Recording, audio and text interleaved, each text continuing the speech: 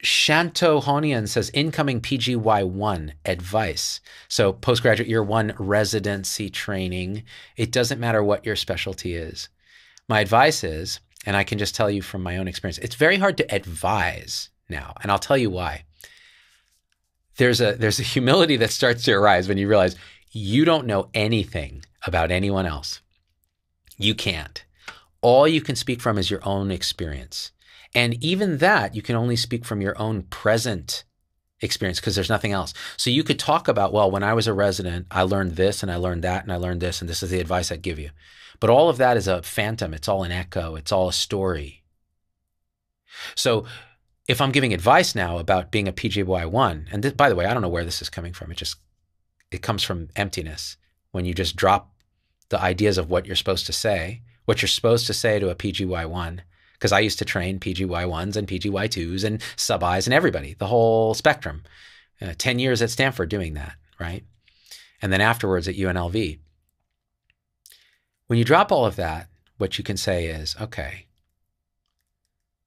you're going to go through something that most humans never go through, which is you're going to have other human lives in your hands.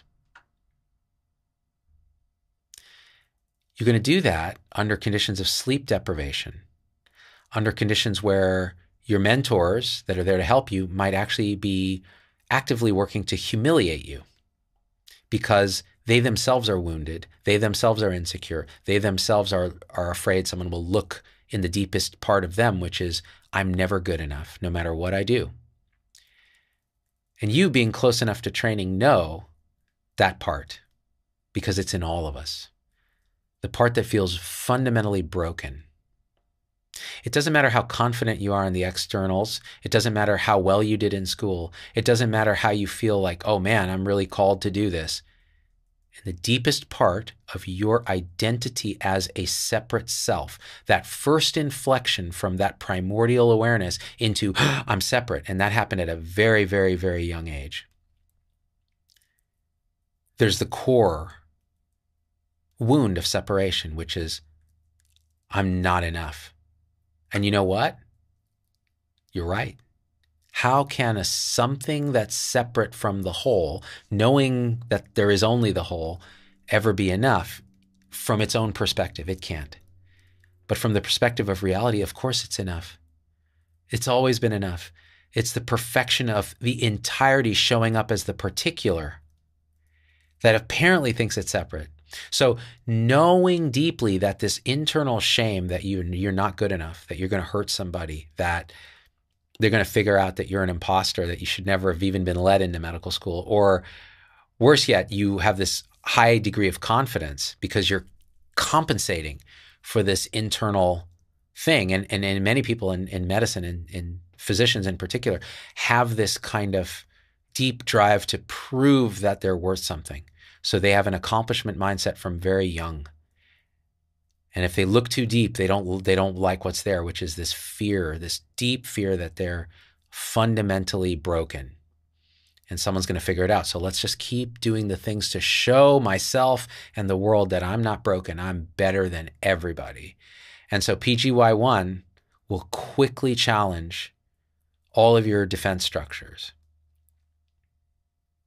So if you go in knowing that, if you go in open, if you go in willing to be hurt by everything you see, in other words, feel the pain of that patient, don't take it as your pain, but know what it is and let it be felt fully.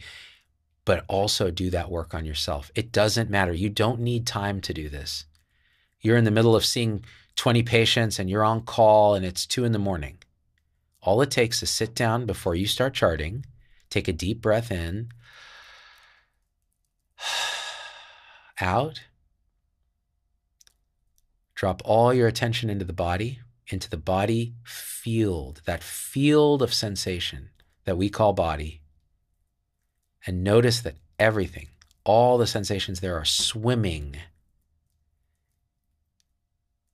in this ocean of awakeness, of awake, still presence. This peace that passes all understanding is always and already you. You're swimming in it. It's why the you know the, the famous thing about the fish doesn't know it's in water. It's looking for water. It's looking for something. It's always here. And all it takes is a breath, 30 seconds of noticing that, and you realize at your core you were never broken. There's nothing to heal. Everything is unfolding perfectly, including that screaming patient's family that's threatening you and angry, or that attending that's berating you, or that co resident that's apparently slacking off and you have to cover for. It's all exactly right. And you do the next thing and you realize you're not even doing it. It's just life living itself. And that's all it takes. And all your training, all the conditioning, all the software will run itself. It will. Trust in that. And keep reading and doing all that to condition the software. That's going to happen. Keep learning. That's going to happen. But it's this that's the core. We talk about burnout. We talk about uh, resilience. We talk about sustainability. All of those are words. This is the only sustainability. This is the only resilience. This is the only cure for burnout is realizing who is it that's burned out? Can you burn this out? This that you are ultimately, right? And that's not to say you won't be stressed. That's not to say the body mind won't be overworked and need need things, need family, need friends, need lover, need food, need nutrition, need exercise, need sleep, need a therapist, need whatever it is, all that can be true. But the deepest truth, that's the advice, is tune to that whenever you can. It's the bedrock.